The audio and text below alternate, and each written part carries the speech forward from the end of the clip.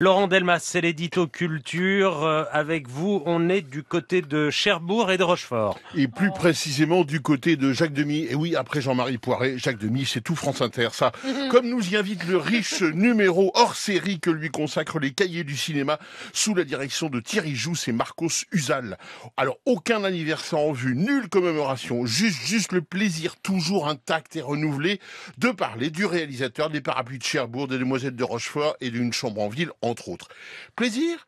Oui, je sais, pas pour tout le monde. Et c'est justement Jacques Demy lui-même qui nous le dit dans cette archive INA du 8 mai 1969 au micro d'Anne Andreux. Les gens qui m'aiment bien, ils aiment bien mes films. C'est complètement révélateur.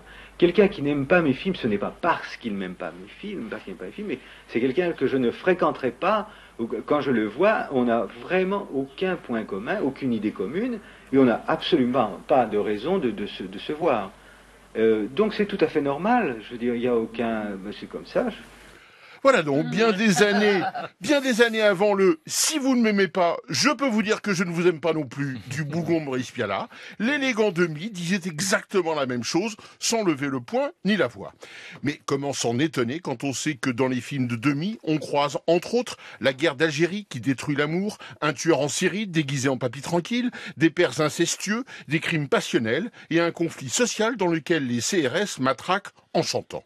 Non, le cinéma de Denis, de Demi n'est pas celui d'un bonheur unilatéral, comme nous le rappelle la reproduction d'un entretien avec le cinéaste Paul Vecchiali. Dans une première version des Demoiselles de Rochefort, à la toute fin, Jacques Perrin, le marin qui va en permanente, mourrait écrasé sous les roues d'un camion. Mais il demeure le créateur d'un cinéma enchanté. Oui, Léa, l'expression est de lui, de Jacques Demy, et elle dit bien cette intention si singulière de faire des films dont la musique est l'une des composantes essentielles. Damien Chazelle, le réalisateur de La La Land, le dit avec ces mots dans l'entretien qu'il a accordé au cahier. Chez Demi, on a l'impression que la caméra danse, que le montage danse, qu'il y a toujours un équilibre entre le cadre, les acteurs, la mise en scène et la musique. Oui, c'est bien ça, malgré tout. Chez Demi, faut que ça danse sur les notes de Michel Legrand, et ça donne ça. Et voici les célèbres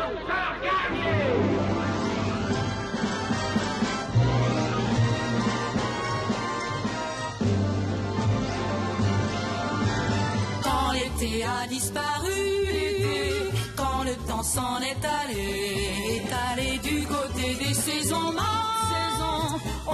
Et on retrouve donc ce hors-série des cahiers du cinéma consacré à Jacques Demy en kiosque. Merci Laurent.